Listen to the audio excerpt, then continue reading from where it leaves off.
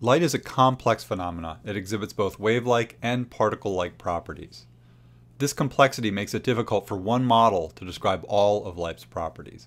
As a result, different models are used to describe different aspects of light's behavior.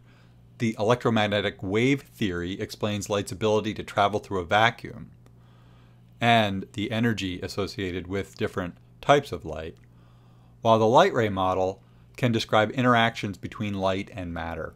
The light ray model makes the assumption that light travels in a straight line through transparent media such as air or water.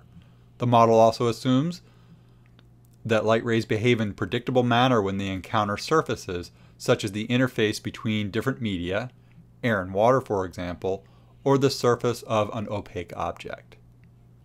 This predictable behavior makes it possible to determine the path a light ray will follow as it moves from its point of origin to wherever it eventually changes into another form of en energy, such as heat.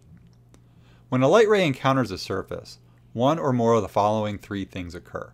The light ray either reflects off the surface and travels off in a different direction, passes from one medium into the other and continues on a new straight line path, or is absorbed.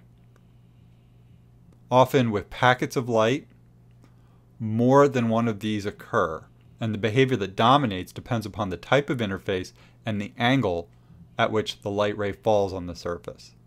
With this picture of a flower seen through a window, you can see that all the different properties of light interacting with material can be seen. Much of the light hitting the flower that allows the camera to see it comes from the sun that's passing through the transparent glass. In this case, the rays of light are passing from outside through the glass, hitting the flower, reflecting off the flower, passing back through the glass to the camera. While other rays of light from the sun are hitting other objects outside, such as the car, reflecting off the car, then hitting the glass and reflecting into the camera lens. So in a, in a simple picture like this, we can see the complex behavior of light. And there is even things going on that we can't see, including light reflecting off the flower inside, hitting the glass and reflecting back into the room.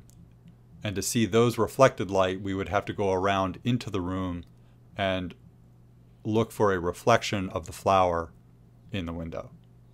There's a specific set of terminology used to describe the behavior of light rays. The light ray that hits a surface from its origin is called the incident ray. The behavior of the light once it hits the surface is always described relative to a line normal to the surface.